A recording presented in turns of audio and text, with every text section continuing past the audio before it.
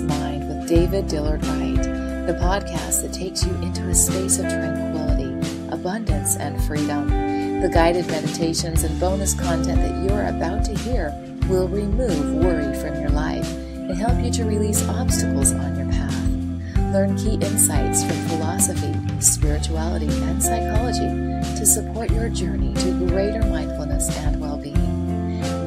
the time to open your heart and mind to boundless inspiration.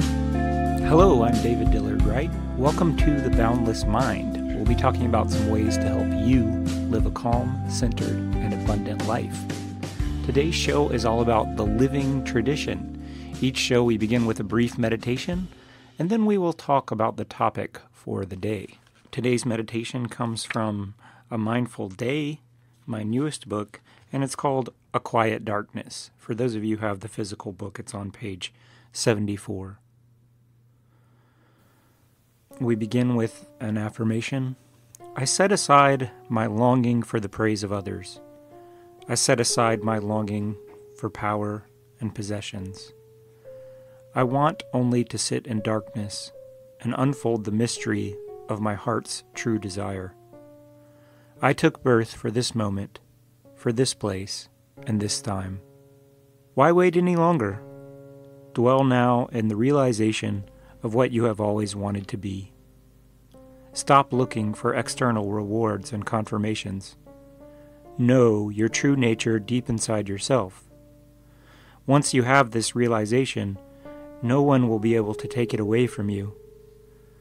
You may lose sight of it from time to time, but your inner divinity will still be present, glowing like a hot coal on the hearth of the heart. You cause your own sadness by turning away from your innate divinity, by seeking satisfaction from worldly things and the praise of other people. Know the truth for yourself, and you will no longer need the latest fad to make you feel better temporarily. As you shut your eyes and breathe deeply, the thoughts begin to subside. They become less frantic and insistent. A quiet darkness descends.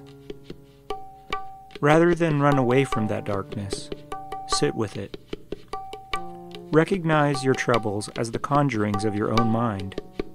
Sit there as long as you can.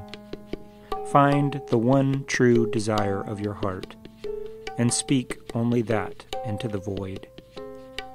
Will yourself to realize your highest vision. That's the end of the meditation. I invite you to pause the recording here for a few minutes of silent contemplation. Today's talk is called The Living Tradition. This is the next in our Nine Gates series.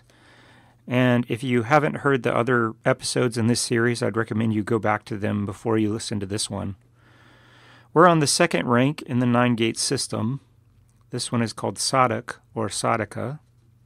And in these lessons, we're concentrating on the qualities of generosity, forbearance, patience, and contentment. A sadhak or sadhaka is one who takes the most efficient means to realization, one who has left behind the beginning stages and is firmly and decisively committed to the spiritual path. Confused and wavering consciousness departs, leaving only the sure, strong steps of self discipline. The gemstone for this rank is citrine. The living tradition. At this stage in your journey, You've been touched by many types of suffering. As a seeker for truth, you have ached for the people around you as they suffered want, depression, anxiety, and physical distress. You've had your share of burdens in your own life. Sometimes your spirituality has seemed a burden in itself, as it is more difficult to live a life of compassion and wisdom than to blindly follow the crowd. Often, you kept vigil all alone as those around you did not understand your craving for the spiritual life. You lost relationships with loved ones simply because they couldn't understand your need for meditation and silence. You bravely forged ahead, not knowing if or when your journey would ever come to an end. You have now found a sure guide on your journey to liberation in the form of the gurus of the lineage, the teachings that they impart, and the community to which you now belong. the triple braided cord of scriptural understanding, communion with your teachers, and practices of worship leads you forward into your future as a realized being. This cord keeps its connection to the past, not in a merely memorial way, but as a living tradition. We believe that the saints, the gurus, the sages who have gone before us do not exist merely as characters in nice stories from the past. Rather, they actively look out for this community and speak to the present concerns of devotees. If we place an image of Ramakrishna or Sarada Ma, if we place an image of Shree Maa of Kamakhya or Swami Satyananda Saraswati, and if we pray to that image, we believe that answers will appear. The gurus of the lineage do not do all of the work for us. They cannot say the mantras for us, they cannot create a home shrine for us, and they cannot earn a decent living for us. But they can and do provide us with inspiration along the way, whether or not they reside in a physical body. They can show us the resources at our disposal, the means that we didn't know we had. Their blessings do make a difference in our lives. The syllable gu means shadows or darkness, and the syllable ru means dispersing or removing. So a guru is one who removes the darkness of ignorance. Our first gurus as children are our mother and father, who prepare us for life in the best way they know how. Next, we have our teachers in school, who teach us to read and write and give us basic knowledge of math, science, literature, and other subjects. If we are very lucky and have enough merit stored over the previous lifetimes, we will have a spiritual guru, a living person who shows the way to liberation. Having a guru means that we no longer have to flounder around on our own, trying on different philosophies and religions. We can stop the preliminary experiments and move on to the work itself.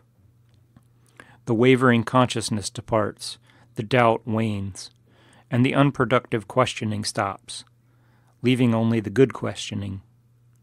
The good questioning is the questioning which is directed towards liberation, is directed towards living thinking, and talking in the most conducive ways that lead to release from bondage. Having a guru means having a guide along the path. Without a guru, we wander aimlessly and unproductively. Having a guru means that we have someone to answer our questions, someone who speaks from experience and not mere ceremony. Another aspect of the guru shishya or guru disciple relationship is that the disciple does not actually relinquish responsibility to the guru. Swamiji points out, most helpfully, that the word for grace in Sanskrit is kripa, which means do and get. The guru can perform sadhana on behalf of the devotees, but eventually the devotees must learn to stand on their own two feet, so to speak. They must take up the practices themselves and internalize them. They must act on their own wisdom and intention, following the teachings of the Guru in a creative, active way. The disciple must make every effort to become a cause of satisfaction to the Guru. And that's a quotation from the Guru Gita, verse 27. But this must be done not in a slavish, robotic way, but out of a place of creative spirituality, as a full and responsible adult with many gifts and capacities. The disciples must always give more than they take, for to do so is to continue the living tradition. But they still need to live their own lives, except in the rare case of the one who has attained complete renunciation and taken monastic vows.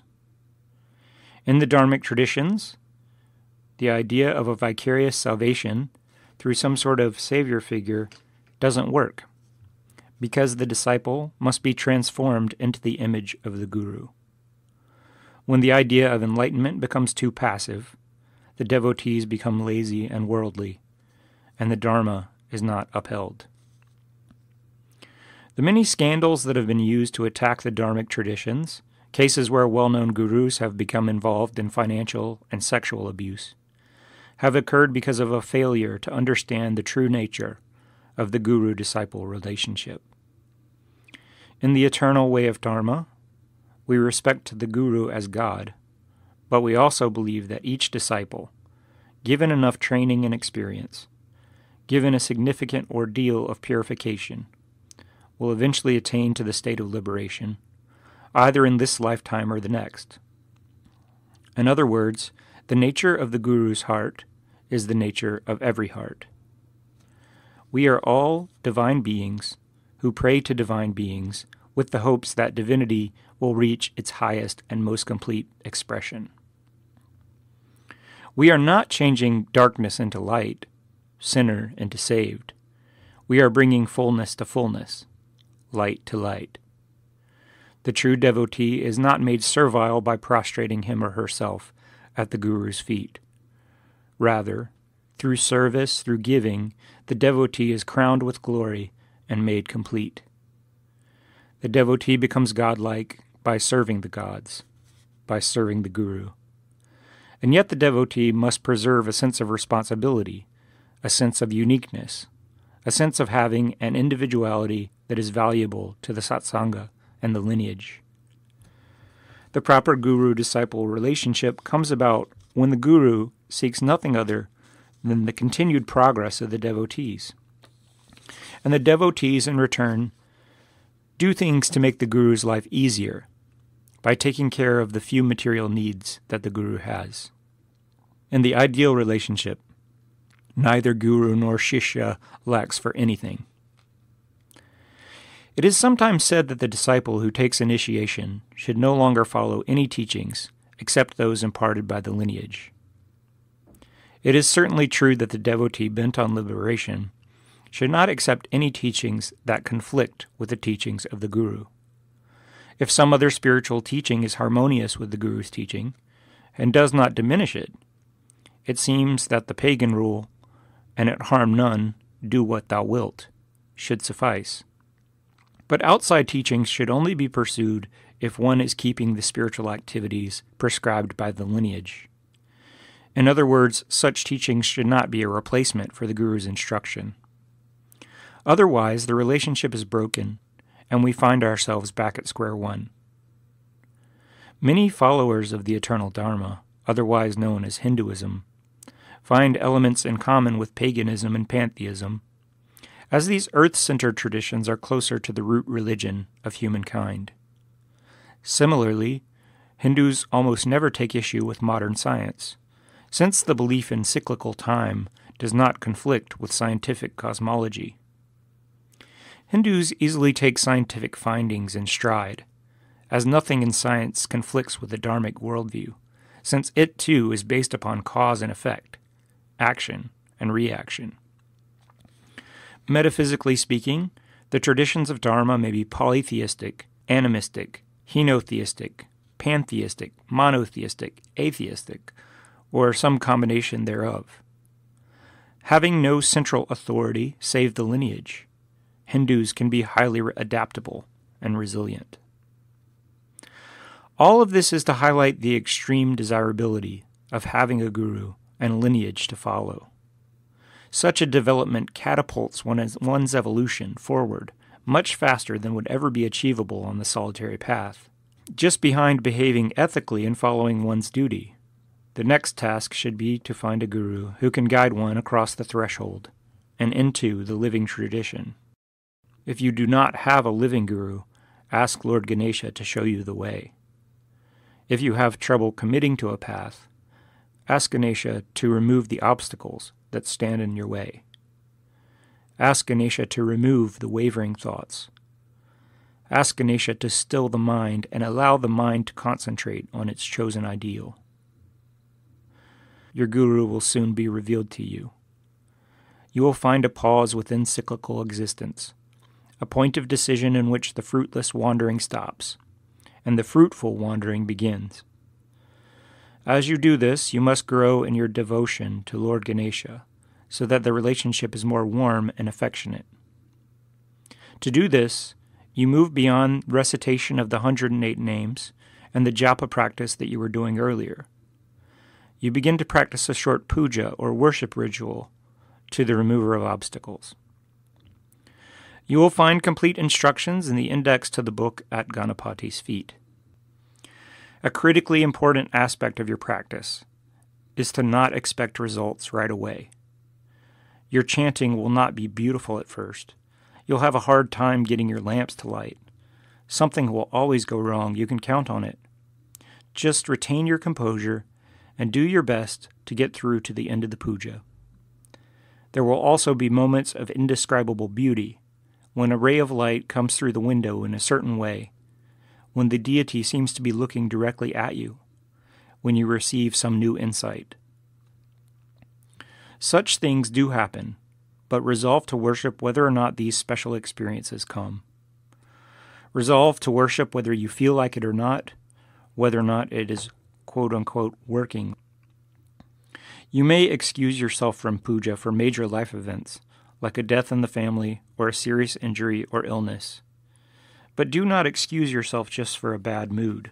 Indeed, puja is the practice most likely to make you feel better. This minor course adjustment in your life will make the greatest difference over time, and you'll become a more kind, patient, loving, and generous person as you carry on the living tradition. So that's the end of this lesson. Uh, there's some assignments at the end. There's two sets of assignments. Um, the first set is just for the general public. The second set is for those who wish to become members of the Heart Chakra Society, the Anahata Chakra Satsanga. Here's the first set of assignments. Number one, were you successful in performing Ganesha Puja over the course of these lessons? If so, what allowed you to succeed? If not, what held you back? Second assignment What can you do to forward the work of the Anahata Chakra Satsanga and its parent organization, the Devi Mandir? What tasks can you undertake to benefit the living tradition without having to be asked? Next, the questions for self reflection. If you're interested in moving through the formal system of ranks of the Satsanga, please forward your answers to myself. You can contact me uh, by email or through Twitter. Here's the first one. Before moving to the next lesson, complete a Ganesha Puja at least nine times and record a few notes about the practice. Did you have any breakthroughs? Did you have any misgivings or doubts? Take a photo of your home shrine and send it electronically to the satsanga along with your notes. And here's the second one. When did you first hear about Lord Ganesha? Was it in childhood, perhaps in the home of an Indian family? Did you see Lord Ganesha on a television show or movie? Do you think your earlier experiences could have planted a seed that is now bearing fruit? Why or why not? And there's two books that I mention in this uh, recording. I'll make sure to put those in the show notes. That's it for today's show. I hope you enjoyed it. You can find more teachings and meditations at heartchakrasociety.org, or you can read my Psychology Today blog called Boundless at psychologytoday.com forward slash blog forward slash boundless. You can find me on Twitter at David Dillard Rye. That's at D A V I D D I L L A R D W R I. You can find my three part series of books on meditation, A Mindful Morning, A Mindful Evening, and A Mindful Day on Amazon.com or wherever books are sold. Send me your comments and questions, and I will get to them on future shows. Our theme music is by Tommy Rooster, theme voiceover by Kimberly Hash DeVries. Zafir Daar on piano, Hafiz Shahbaz Rasheed on tabla. That's all for now. Have a mindful day.